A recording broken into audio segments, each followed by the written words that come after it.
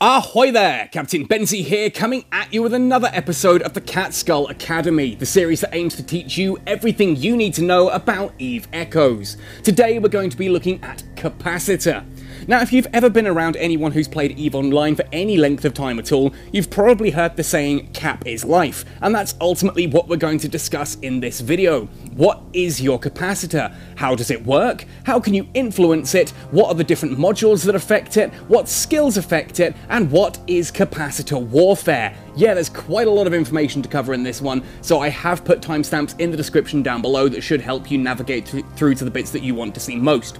Now, if you do enjoy this video or find it useful, let me know by hitting like on it, sub to the channel for all things Eve Echoes, ding that notification bell so that you never miss an upload, and of course let me know what topics you want to see me cover in future videos by commenting down below in the comment section. Finally, if you do want to go the extra mile to help support this channel, you can do so by joining us on Patreon. Details are on screen now, and every pledge really helps. Anyway, so that all said and done, let's have a look at what your capacitor is. In EVE Echoes, your capacitor is essentially your ship's battery. It's the power source that runs and operates all of your different modules, whether those be things like micro warp drives and afterburners, shield boosters and armor repairers, weapon upgrades, or even things like laser and railgun turrets. If, a, if you look at a module, if I open up here the, uh, the laser turrets, and it has something here like an activation cost in gigajoules, that means it uses capacitor in order to operate. This is why the saying capacitor is life is so common, because if you have no capacitor, that means that none of those modules are going to work. You're going to have no propulsion, no tank, and no weaponry to speak of. You'll notice as well that when you uh, align your ship and warp away, that does use a certain amount of capacitor as well. Thus, if you have no capacitor at all, you are unable to warp. Now, in Eve Echoes, at the bottom of the screen here, you have your heads-up display, and this bar on the right-hand side, the golden yellowy colour one, is your ship's capacitor. Ultimately, you'll notice here that if I activate some modules, this will use up part of my ship's capacitor. Same if I turn on the afterburner and the armor repairers here, that will drain my capacitor right the way down, and each activation cycle of these modules will also use a certain amount of capacitor. Obviously, depending on what the module is, depends on how much capacitor actually gets used. Now, how do you see how much capacitor your ship actually has? Now, of course, the easiest way to find out how much capacitor a ship has is to find it in the ship tree. In this case, if we go up to the Dragoon Assault that we're looking at here and scroll all the way down its info page to basic info, you can see here capacitors of 543 gigajoules. But that doesn't give us the full story, so let's go into details, into attributes and fittings, and then scroll down a little bit to where it says capacitors. Now that 543 gigajoules is the maximum fulfilled capacitor. That is when your capacitor is all the way at 100%, how many gigajoules it has to power various different things. Now if you look then below it, there is capacitor recharge time. If your capacitor is down to 0%, in this case it will take 205 seconds to recharge from 0 to 100. But, again, there's a bit more to it than that, as you can see here, maximum capacitor recharge rate of 6.62 gigajoules per second. Now, ultimately, capacitors do not re uh, recharge at a uniform rate from 0 to 100. A lot of research has been done on capacitors in EVE Online, and they have found that capacitors do recharge fastest at around the 25% mark. Now, I've been playing with capacitors a lot since EVE Echoes launched, and from my re uh, research so far, that this seems to be the case too. I've not done it quite as scientifically, but based on what I see, and based on that information that it recharges fastest at 25%, I have no reason to believe that that is different here in EVE Echo, so assume that your capacitor does recharge as that same non-linear function which I'm showing on screen now, that it recharges faster the closer you are to 25%, and so at 25%, your capacitor is recharging at 6.62 gigajoules per second.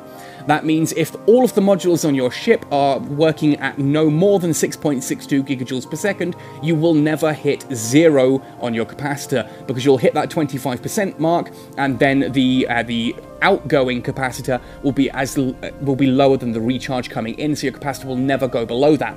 This also means that if someone is trying to hit you with something like an energy neutralizer, which we'll talk more about later, then it's easier. You'll, you'll notice a bigger effect at the higher percentages, but as you get close to the 25%, it's like the capacitor is fighting back more. It recharges faster close to that 25%, so it can take a bit of time to basically get over that 25% speed bump, but again, we'll cover that more in detail when we come to talk about capacitor warfare later on.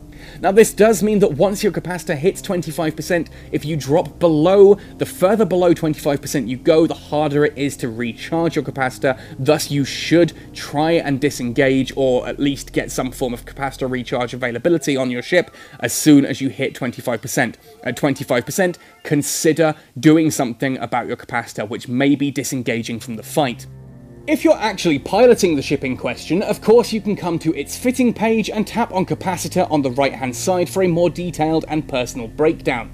In this case, you can see that this particular Dragoon Assault, because I'm piloting it and I have skills that increase capacitor capacity, this particular Dragoon Assault has a capacitor capacity of 717 gigajoules. That's a lot higher than it normally would have. Ultimately, that's, as I said, thanks to skills, which we'll cover in just a moment. But it is worth noting that the recharge time remains at 205 seconds. Even though the capacitor capacity has increased, the recharge time remains the same, which means the optimal recharge rate will have increased too, helping you maintain capacitor stability. Now, what does capacitor stability actually mean? What does it mean that it says stable here in the top right? In green writing, if we go back here, you can see capacitor stable. Well, that means under optimal situations, with everything running, the capacitor recharge rate is greater, or at least equal to, the capacitor draining rate. If all of your modules are chewing your capacitor, then you are recharging at equal to or faster, and thus your capacitor will remain stable. Obviously, that may only be stable at around the 25% mark. You may still see your capacitor capacitor decrease, but as your capacitor does recharge faster, the closer to 25% it is, it means it may actually stabilize around the 25, 30 sort of percent mark there, depending on what your actual effective draining rate is. Basically, stable means there is a point in your ship's capacitor where the, the draining amount is equal to and less than the amount that your capacitor is recharging per second. Now, of course, that is then influenced by relevant skills, modules, and so on. So, talking about the different ways you can influence your ship's capacitor, let's have a look at skills.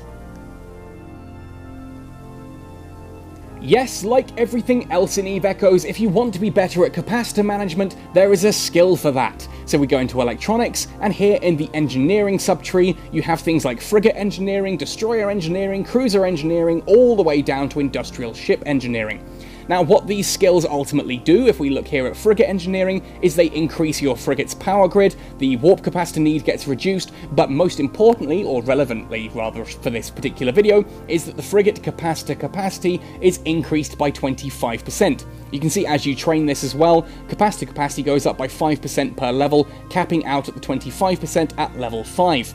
Now, looking back at that Dragoon assault and seeing that I had 717 gigajoules rather than the usual amount, that is courtesy of me having destroyer engineering trained up to level 4, an additional 20% destroyer capacitor capacity there, plus I've got advanced destroyer engineering up to level 4 as well, which gives an additional 12%. So I'm actually getting 32% additional capacitor capacity, hence the amount shown there at 717 gigajoules.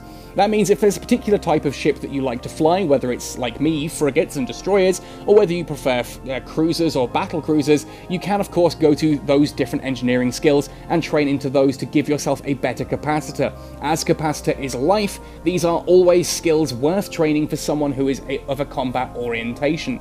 Simply put, it means you are more likely to be capacitor stable, meaning you are less likely to run out of juice in the middle of combat. Obviously, running out of juice in the middle of combat is a very bad thing. Even if you're not using lasers or railguns, you're still not going to be able to use things like micro warp drives or, or afterburners. You're not going to be able to use your tanking modules. It's basically just going to shut your ship down, so you want to have that trained, maintain capacitor stability at all costs.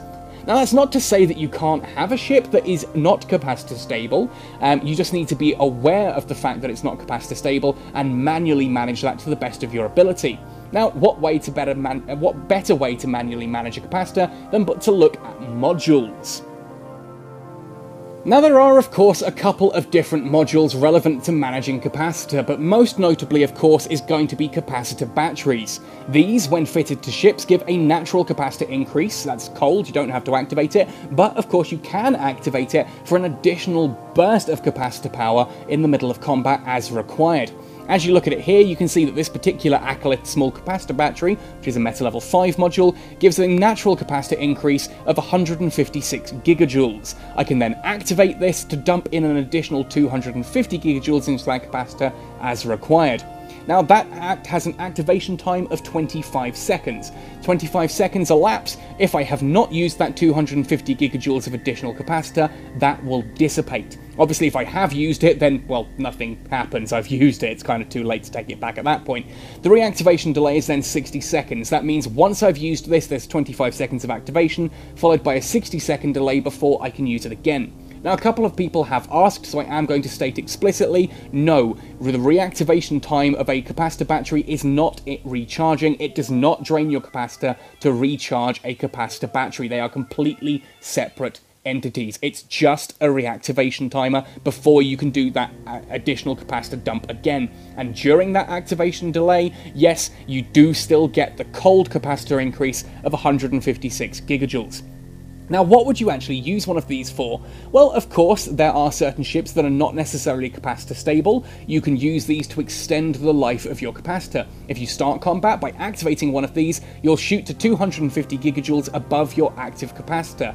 That will then slowly be used up, and it will then go on cooldown. As soon as it comes off cooldown, you use it again to increase your capacitor, and you start to go down from there. That ultimately just extends the life of your capacitor if you are not capacitor stable. It also means that if you are capacitor stable and someone comes along with a Nosferatu or a Neutralizer, you can use this to quickly boost yourself back up and thus make it harder for them to get over that 25% roadblock.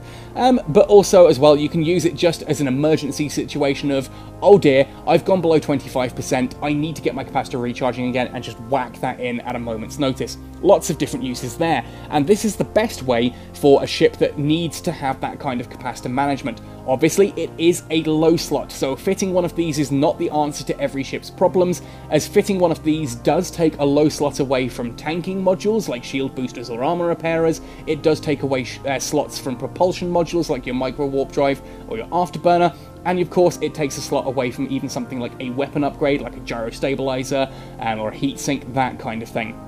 So it's not just get one of these and slap it into a ship. You do still need to consider whether or not you actually require one of these, and you'll see that with certain things like the Maller, um, I have often put a capacitor battery in there just to help maintain that stability and keep it alive longer.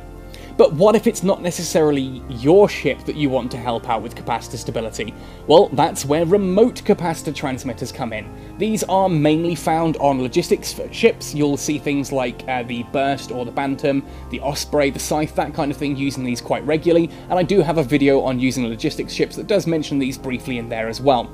Basically, these are these are the capacitor equivalent of a remote armor repairer or a remote shield booster. They take capacitor out of your ship and they put it into the target ship. Very useful if the target ship needs a top up because it's being drained, or if, like we've just mentioned, it's an active tank that's just happening to run a little bit lower on capacitor. You've got an activation cost here, you can see 37.1 gigajoules, transfers 31 gigajoules. This is different from EVE Online. In EVE Online, these are the other way round. You have the energy transfer amount is greater than the activation cost, so it is a net gain and you can create chains. In EVE Echoes, currently that is not the case. You are losing capacitor faster than the other person is gaining it. So that is an important consideration if you're a logistics pilot using remote capacitor transmitters. Again, they do have an optimal range and an accuracy fall off, meaning they're transmitting 31 gigajoules at that 3.5 kilometers, but the closer you get to 5, uh, 5.25 beyond that, so that's what, 8.75 kilometers, the closer you get to 8.75 kilometers, you're slowly reducing down to about the 16, 17 gigajoules transfer, and then down to a 6% effectiveness once you're at 2 accuracy fall-offs beyond optimal range, similar to using turrets. Going back to your own personal ship though, if you're looking to keep some capacitor added onto your own ship, we of course have Energy Nosferatus. We're going to cover these more in just a moment, talking about capacitor warfare, but I do just want to bring those up as something that yes, you can use to help manage your capacitor. They drain capacitor out of your opponent's ship and refill your own capacitor. Very short range here, you can see optimal range of 4 kilometers, accuracy fall off of 2 kilometers, meaning this particular module is only useful up to 8 kilometers. At 8 kilometers, it's doing 6% of that transfer amount of 87 gigajoules. It's only getting that, sorry, 37 gigajoules. It's only getting that 37 gigajoules at the optimal range of 4 kilometers or lower, and it'll do that every 4 seconds. So every 4 seconds, you drain 37 gigajoules out of their ship and into yours. Very, very useful for helping you maintain capacitor stability if you're in combat range.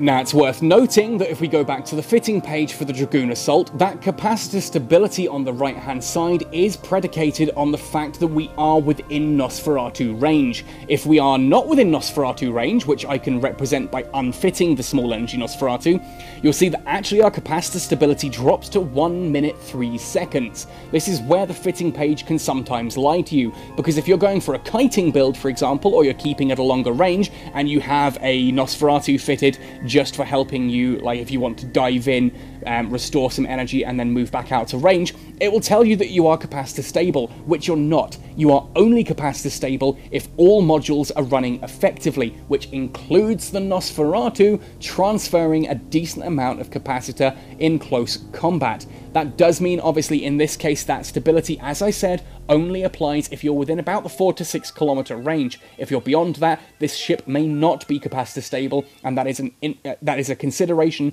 worth remembering.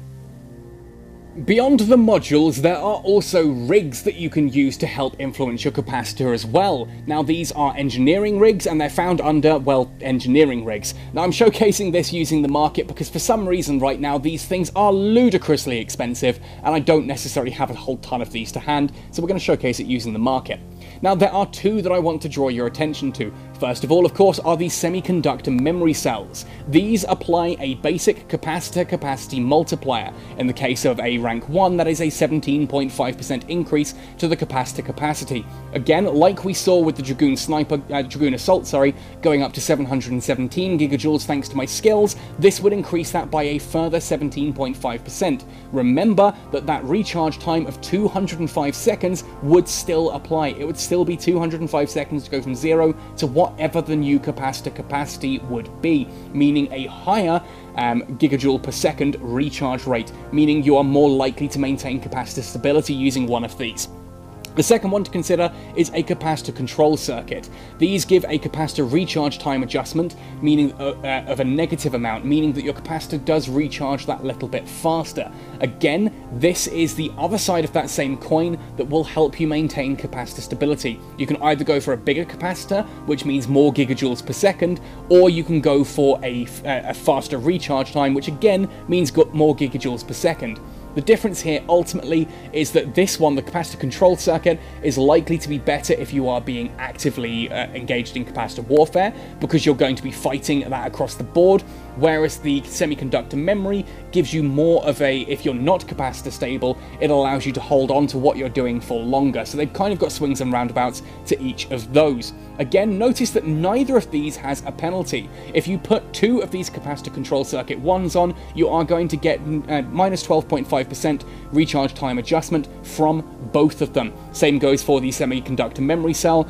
Adding two of these will be a total of 35% additional capacity capacitor multiplier. That is an important point here because a lot of rigs do have those combination penalties. These two do not. We've mentioned capacitor warfare a few times now throughout this video, so I think it's probably about time that we sat down and talked about what it actually means. Well, if you think of standard combat as your weapons trying to deplete your opponent's shield, armor, and uh, structure bars, then capacitor warfare is your mid-slots trying to drain out their capacitor. And there are two ways that you can do this. First and foremost are energy neutralizers, which I don't actually often see fitted to ships, which is a real shame. In PvP, these things are absolutely terrifying, but in PvE, I suppose they are absolutely useless, as we'll come to in a moment. Now, what an energy neutralizer does, if we look at this one here, looking at its stats, every 6 seconds, because that's its activation time, it will take 28.6 gigajoules out of my capacitor to activate, and it will hit their capacitor for 70 gigajoules of damage. That's kind of like firing a laser and hitting for 70, uh, 70 points of damage on the enemy's shields. The aim here is to try and reduce their capacitor down to zero, because a ship with no capacitor means it's not firing any laser turrets or any railgun turrets, it's not going to be able to activate any armor, armor hardeners, armor repairers, shield boosters, that kind of thing. It can't activate micro warp drives or afterburners, which will make it easier to hit. Ultimately, you are aiming to get their capacitor down to zero to switch off all of their active systems, which is an absolutely major advantage in combat because they can't heal, they can't do anything anymore. You've turned them into a floating rock, and if you're also warp disrupting them, well, congratulations, they're not going to escape anytime soon. Now the reason that I mentioned that this is useless in PvE is because the NPC pirates in the game have infinite capacitor. It is impossible to get them down to zero capacitor, it's not going to happen, making neutralizers sadly pointless. And something I do hope changes um, in EVE Echoes. I know that's the case in EVE Online, I've proved it's the case here in EVE Echoes. I do hope it is something that does get changed, because I'd like to see more ships actually getting benefits from energy neutralizers.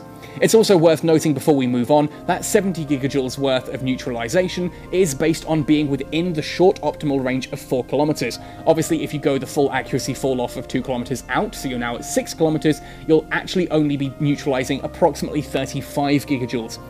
That then drops down to 6% again at an additional 2 kilometers out. So you do need to be really, say it with me, up close and personal for to be getting the most out of this. The same goes for the other type of capacitor warfare as well, which are smaller or large or medium energy Nosferatus. These are kind of they're, they're different to the neutralizers, whereas a neutralizer just hits for damage and that's it. These are often referred to as energy vampires because they leech it out of your opponent's capacitor into yours. You can see here that compared to the neutralizer, which does 70 gigajoules of damage per activation every 6 seconds, this will drain 37 gigajoules every, uh, every 4 seconds. So overall, it's less of a neutralization amount, but it also helps charge your own capacitor. Now, there is an additional effect that is worth mentioning here, and I want to give a huge shout out to John Executor, uh, Executor, sorry, hope I'm pronouncing that right, John Executor, who helped me earlier on actually testing this one.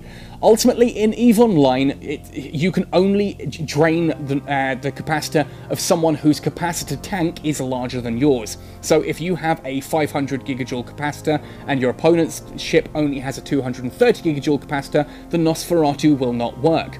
It used to be the case in EVE Echoes that it was based on percentage. If you had a higher percentage capacitor than your opponent's target, the, uh, the Nosferatu wouldn't work. You needed to have a smaller percentage of capacitor. Now, I did a little bit of testing today with John Executor and uh, proved conclusively proved that it is the old way of uh, doing it that Eve Echoes opts for. That is to say, me in a 500, well, 717 gigajoule capacitor uh, Dragoon Assault was able to drain the capacitor of a uh, much, uh, much smaller, I think it's 230 gigajoules Condor 2, and that continued until his capacitor hit 56% and mine hit 55%, at which point additional activations of the Energy Nosferatu did not drain his capacitor further, nor did it influence mine at all. It's worth noting this is different now then to EVE Online. Energy Nosferatus will only drain from a total, from a, a, percentage bigger than theirs. If your ship is at 20%, you can drain from anyone who is 21% capacitor or higher. If your ship is at 100%, an Energy Nosferatu does nothing. That is important to note um, and something I'm actually really quite excited to finally actually have worked out and be able to conclusively prove. And there we have it, everything that you need to know about your ship's capacitor. What it is, how it works, how to influence it with modules, rigs and skills, and what capacitor warfare is. And I do hope I've inspired some of you budding PvP pirates out there to get in there, start adding energy neutralizers to your ship and seeing how you get on with those. Obviously energy Nosferatus are a very popular fit for uh, brawling builds because they allow you to help maintain your tank and your capacitor whilst you're, say it with me, up close and personal. I am genuinely looking into getting some t-shirts done for that, so do stay tuned. Anyway, that's Capacitor. Let me know what topics you want me to cover in future videos by commenting down below, and find me on Twitter, where you can take some really cool screenshots, post them to Twitter, using the hashtag CSKL. I love to see your ships, love to hear what you guys are getting up to in EVE, and certainly let me know what's going on for you folks. Anyway, thanks for watching right to the end, hope that's helped clear up some issues you have, and happy sailing, see you in New Eden!